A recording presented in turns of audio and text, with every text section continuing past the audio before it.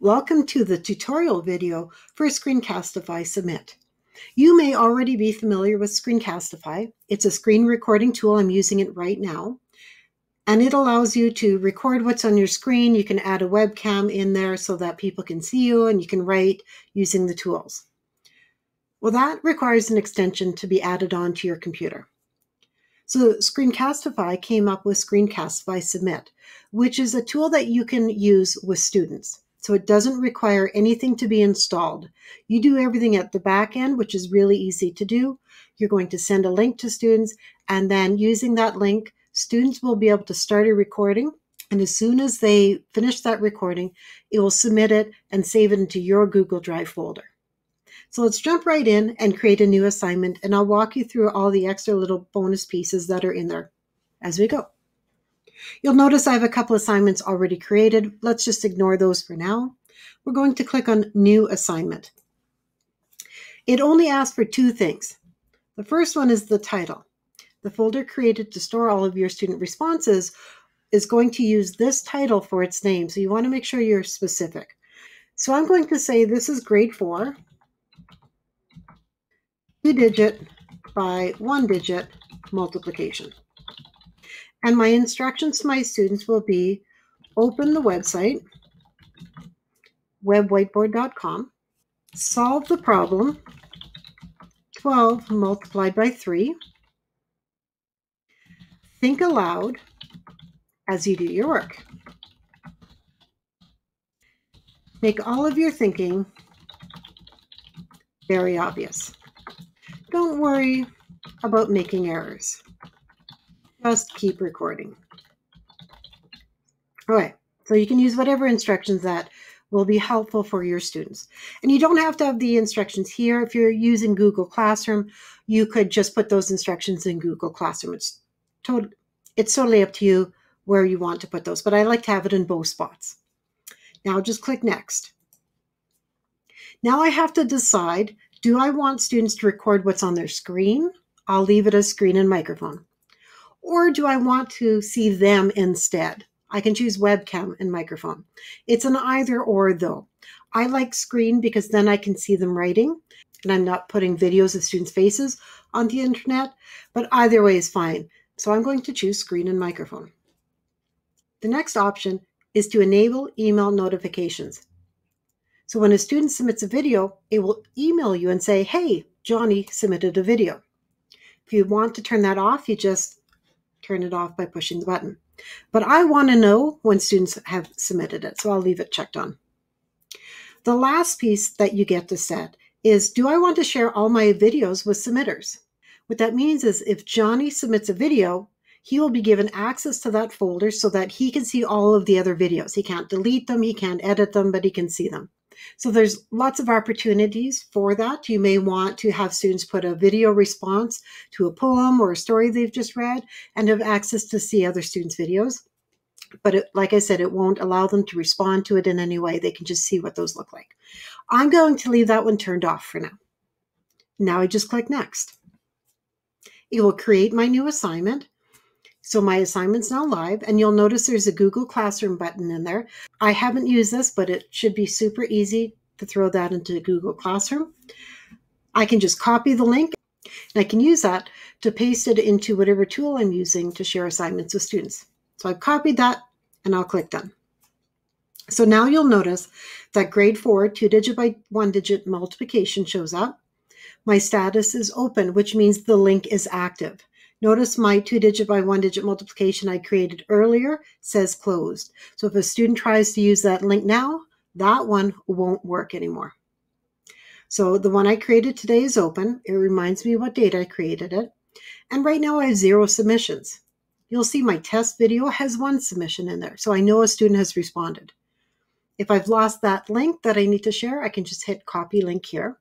And the final piece is the three dots here, which gives me two options. I can edit it or I can close the assignment so nobody else can submit. So I'll jump into edit. And now I can change my title. I can change my instructions if I want to. I'll click next. If I decide maybe I don't want the screen, maybe I want webcam instead, I can change that there. And then I can change the email notifications and the sharing in here as well. So now you've given the link to students and they are ready to use it. So I'm just going to open up a tab and pretend that I've clicked on the link as a student. This is what students will see. They'll see the title that you wrote up there. It will have the instructions and you'll notice it automatically made my link active, which is really nice.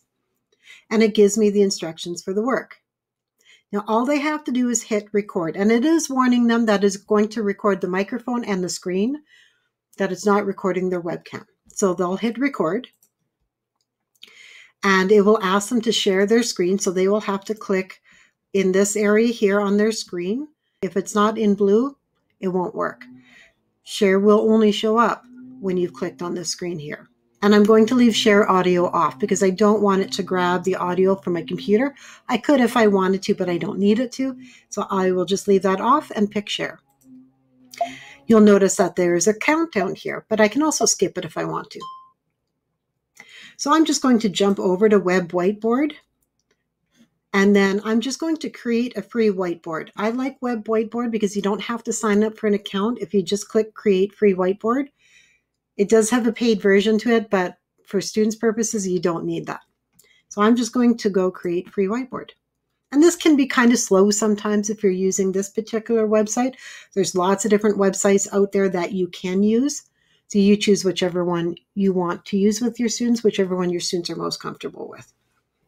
So there's a little note on the screen right now that says this is a shared online whiteboard. So I can use Web Whiteboard to present ideas to students and they can see it and they can actually write on it as well. I can ignore all of the stuff that's at the top. I can ignore the fact that it expires in 21 days. So my student knows that the question is 12 multiplied by 3. So they can use the pencil tools, the marker tools, they can use the text tool to write down the question. And then as a student, so I'm just going to write 12 multiplied by 3. So I might solve it as a student this way using the area model. 10 plus 2 multiplied by 3. 10 multiplied by 3 is 30. 2 multiplied by 3 is 6.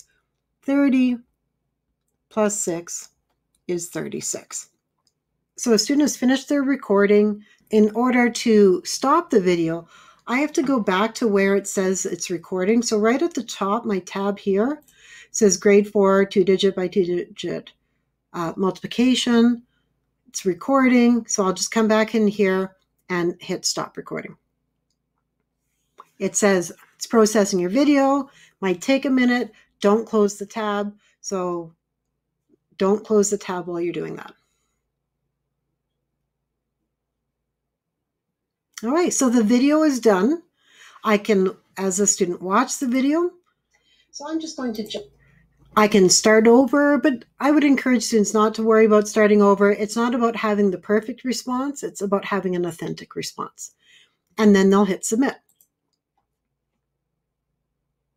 So as soon as they hit submit, it starts submitting the video. They can share that video to their classroom and they can download it for themselves if they want. So if they're worried that there might be issues, then they can go ahead and do that. Now, as a teacher, when I want to see students' responses, I come back to Screencastify Submit and I can see, oh, look, a student submitted a video. So I can click on that number one there and will automatically take me to my Google Drive and it will automatically name the video with the student's name and their email address. And then I can see the video in there, which I can then open up and I can see the video all there.